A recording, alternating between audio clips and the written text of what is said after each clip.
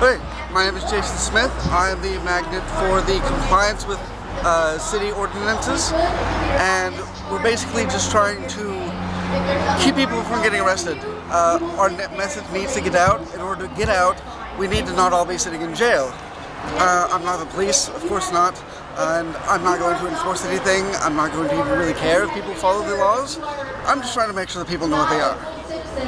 Thank you so much. What's your contact info?